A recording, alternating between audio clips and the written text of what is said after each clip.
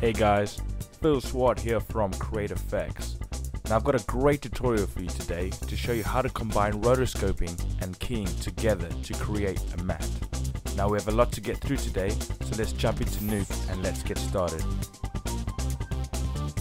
Okay, so I've got some footage here that I shot recently and what I'd like to do is do a screen replacement.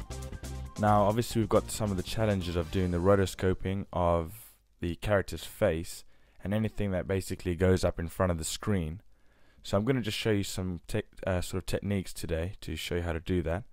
Uh, we've got some issues like the jug, his hand, his face as it goes over. And uh, what I'll do first of all is I'll just uh, push tab and type in tracker and I'll connect that to the footage. Now what I'll do is just zoom in here and pick a spot where I can track through. So I'm going to track his nostril here and I'll just make this box a bit smaller. Actually I'll just take that. So I'm going to be searching for this pattern within the outside box. Okay, what I'll do now is I shall just track that forward.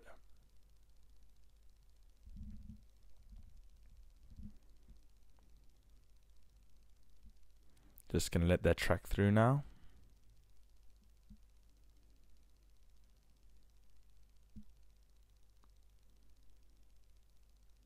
Okay, once it gets to the end of the range that we need, I'm just going to stop it. And now I'll clear everything forward of that area that we need. So I just left with the tracking data for the area that I need. Okay, which is basically just the area that goes in front of the screen. Now I'm going to do a two point track, so I'm just going to look for another point to track here. And that's just so that I can take the rotation or get some rotation values as well. Okay, I'm just going to track this area here. And once again, I'm just going to track that region again. Okay, now once that is done, I'm just going to check over that. That seems to be fine. I'll now enable both of the transform and rotation, and actually I'll do scale as well and what I'm going to do now is just create a roto node. I just pushed O on the keyboard for that. And then within that I created a folder. And what I'm going to do now is I'm going to go to the transform tab of the tracker and the transform tab of the folder that I just created in the roto node.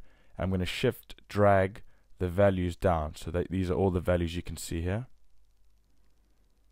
and what that will do is copy all the data from the tracker into that folder.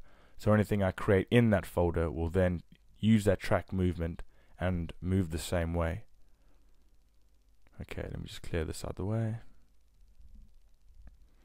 Okay so what I'm going to do now uh, with this tracker or with the um, roto node is just find a good frame.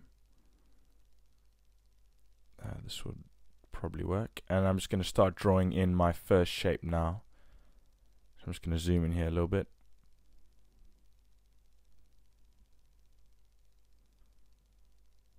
And just start to draw out my first shape, which is the, the nose I'm dealing with at the moment.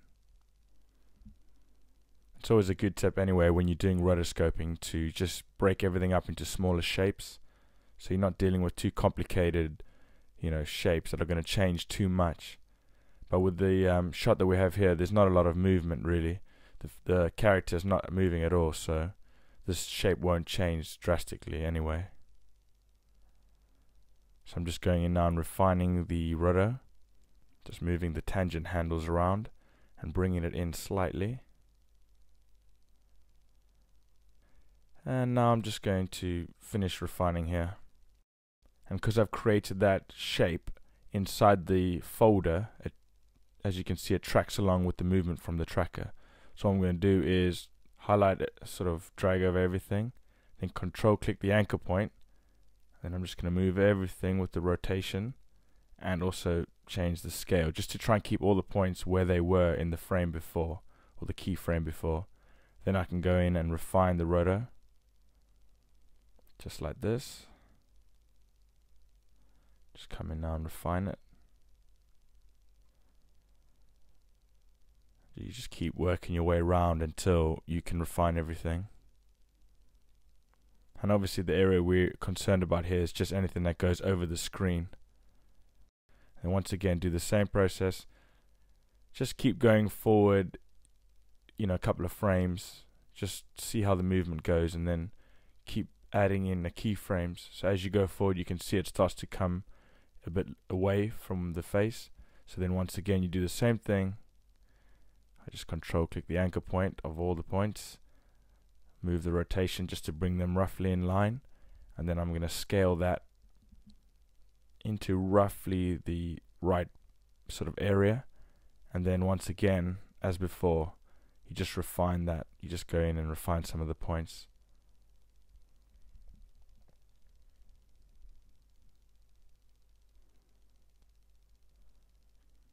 okay so same again you just start going through playing through the sort of area the frame the frames that you're dealing with and just refine it.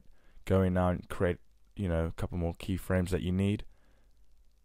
And then just just going to go through again and see where it comes comes apart. Okay there it comes apart.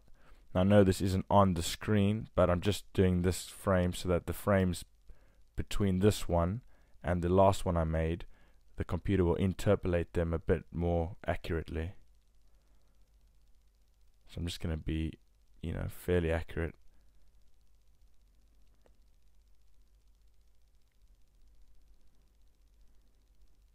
And then now if I go through the other frames, these should be interpolated a lot better than they would have if I didn't change that last frame, even though it wasn't really in front of the screen that much.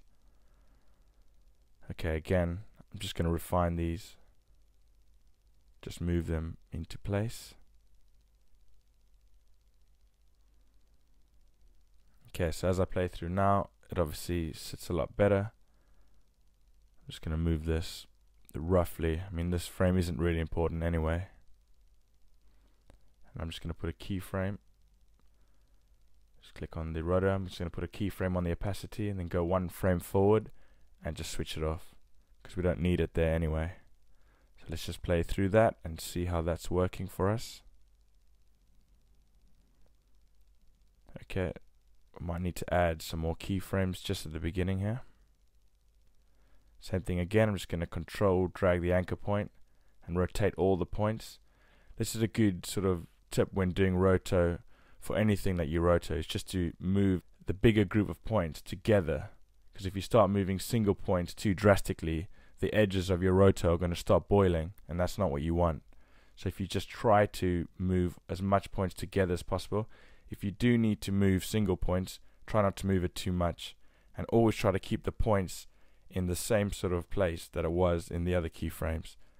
So for example, if you got roto and there's a point on the on someone's elbow, make sure that point stays on the elbow.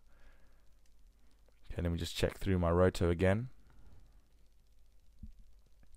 Okay, that's okay. So I'm going to push K to create a copy node. I'm just going to copy the alpha channel from the roto into the footage and I'm going to put a pre-multiplication node under that and just test the roto.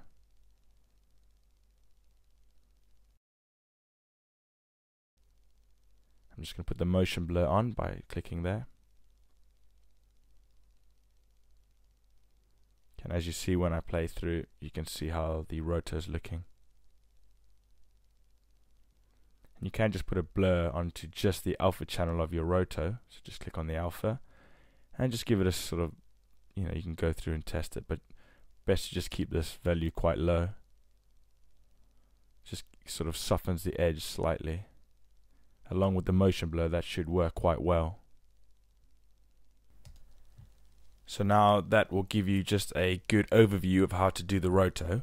So if you join me in part 2, I'll show you how to do some keying to get back some of the hair detail in his beard and then I'll show you also how to combine that with the roto to get your final matte.